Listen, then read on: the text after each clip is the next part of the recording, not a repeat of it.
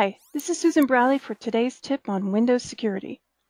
Today we're going to talk about how to check for updates on Windows 10 or Server 2016 without actually installing them in the process. Now here's a sample Windows server, and if we went here to the Update and Security section, and we actually clicked on that check for updates, we'd actually trigger the installation of updates. And in many cases, we actually don't want to do that. We actually want to just see what's pending and we don't want to install anything at that time. If you click on Update History, that actually doesn't show you what's pending, it just shows you what got installed. So, what can you do? And as a reminder, this is a change from how Windows 7 did its updates. In Windows 7, you could actually go into the Windows Updates section of the control panel and actually click here and look at the pending updates without triggering them. Obviously, in Windows 10, it's a different situation. But there's a way around this problem. As is the case, PowerShell is your friend. There's three particular steps you can do to set up your machine so that you can use PowerShell to detect but not install updates. First off, you need to set the execution policy for PowerShell to remote signed. You may have already set this policy uh, in place. It needs to be at least this. You may have it uh, uniquely set in your environment, so check for that.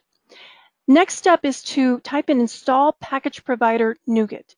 NuGet is a open source Windows provider program that allows you to manage win Windows machines. Next is the important part.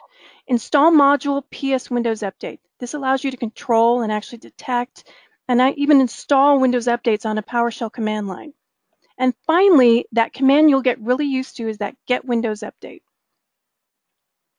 I've actually set it up ahead of time on this machine and you can see I've set the execution policy. I've installed the package provider. I've then installed the module for PS Windows Update and each time it prompted me yes, no. And then finally I type in get Windows Update and it tells me on this particular machine only a definition update for Windows Defender is pending. Now let's take a look on this workstation and have it look for Windows updates. And again, we're not triggering the installation of window, Windows updates. It's just detecting what's out there. And you can see it works for a while and you kind of wait and see what it does. And it'll finally come back with a list of the pending updates. Again, we haven't triggered the installation of any updates. It's just giving us a list of what is pending on the machine. If we use the flag of dash installed behind that, we can actually get a step-by-step -step prompting for each individual update, and we can say yes or no.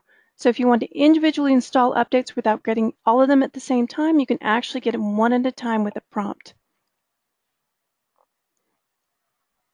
As you can see, it says, would you like to install KB4461438? And you can say yes, yes to all, no, suspend, and actually stop the process.